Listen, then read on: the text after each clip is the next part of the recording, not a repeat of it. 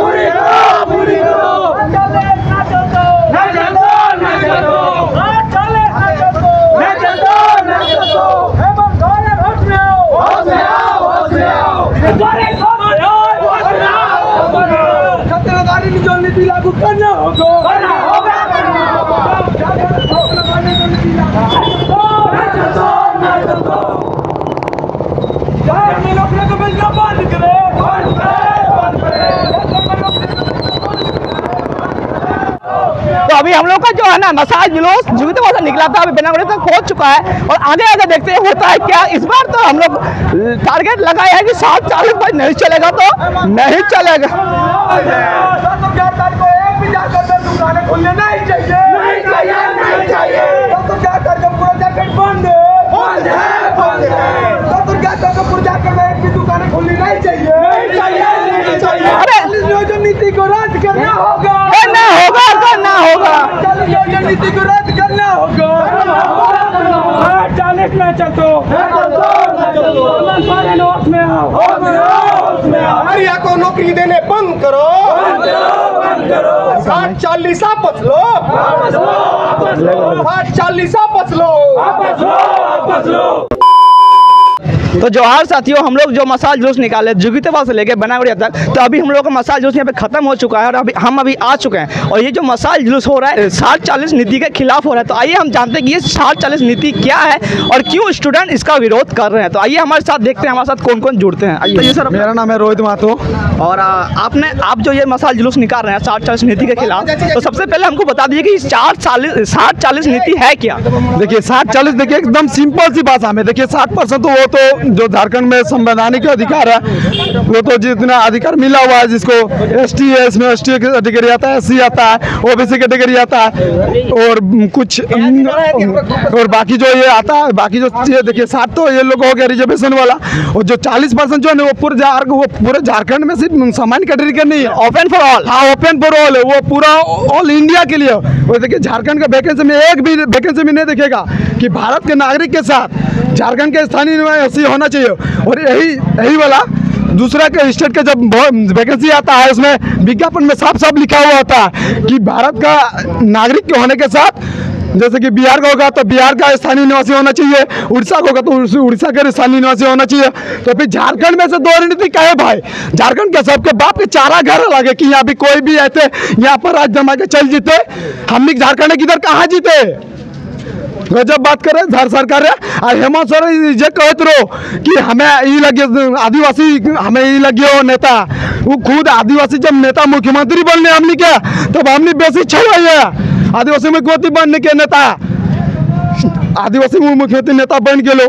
उ कहलो कि हम देबो साल में पाँच लाख नौकरी। तादे कहलो कि सरकारी भत्ता देबो पाँच हज़ार करके हाँ। कहलो ग्रेजुएशन वाला कि देबो पैसा सरकारी भत्ता के तौर पे। ना वो सरकारी भत्ता दिलो ना पाँच लाख नौकरियाँ देलो। आप लोग कहो कि सुअर और बकरी पाल। तो हमने पढ़ ले कि, कि बीटेक करके कि हमने सुअर और ये पालबो? ऊपर से झारखंड में जेई कर एग्ज़ाम भेलो अभी। उसमें पता चलो कि सब क्वेश्चन तो अरे झारखंड में के पहले जूनियर इंजीनियर का पार हुआ है ठीक है? उसमें जब अच्छा एग्ज़ाम जाता है गरीब छात्रों का तो उसमें पता चलता कि ये नौकरी तो वैकेंसी तो ये तो सेटिंग हो गई तो क्वेश्चन वगैरह वायरल भी हो गया था आंसर सीट वगैरह भी वायरल हो तो आप लोग तो देखबे किए थे। जी जी जी। हाँ? तो उसमें भी देखिए इतना तो झारखंड में उत्तराखंड के तर्ज पर क्यों नहीं जो चीट जो कानूनी तौर पर क्यों नहीं कार्रवाई कर रहा है? कि जैसे कोई मान लो कोई फ्रॉड करता है उसको एकदम सख्त कानून बनाना चाहिए झारखंड में भी उत्तराखंड के तर्ज पे। क्यों नहीं बनाता? है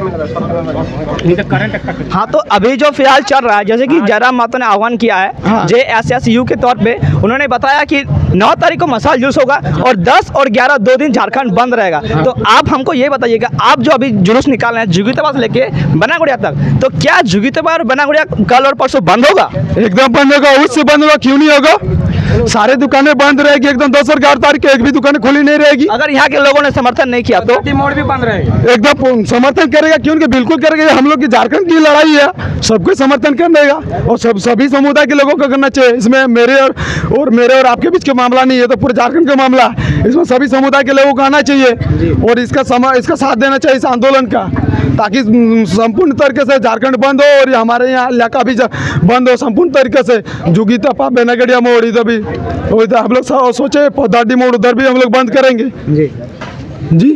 ठीक है थैंक यू सर ठीक। हाँ तो हाँ तो दोस्तों आए दिन हम देखते हैं कि हेमंत सोरेन जब से आए हैं कुछ ना कुछ ऐसे कर ही रहे हैं जैसे कि जैसे कि खतियान आधार नियोजन नीति वो लागू नहीं की जब वो आए थे तो उस टाइम बता दें कि हम खतियान आधार नियोजन नीति लागू करेंगे लेकिन अभी तक वो खतियान आधारित नियोजन नीति लागू नहीं कर पा रहे हैं। ऊपर से जो बाहरी भाषा जैसे कि मगही और अंगिका इस सबको डाल दिया था फिर उससे प्रोटेस्ट शुरू हुआ था और आज प्रोटेस्ट यहाँ तक पहुँच गया कि पूरा पाँच सालों में जब तक हेमंत सोरेन का शासन कहाँ था तब तक झारखंड गर्म रहा। गर्म रहा मतलब झारखंड झारखंड में खाली आंदोलन होते रहा और आने वाले साल में कुछ साल बाद इलेक्शन भी है। तो आज देखते हैं कि हेमंत सोरेन क्या करते हैं, क्या नहीं करते हैं, इतना ही बोल के मैं इस वाणी को विराम देता हूँ। अगर आपको वीडियो अच्छा लगा तो आप चैनल को सब्सक्राइब कर दे मिलते हैं अगले किसी अगले किसी वीडियो में। तब तक के लिए जय झारखंड।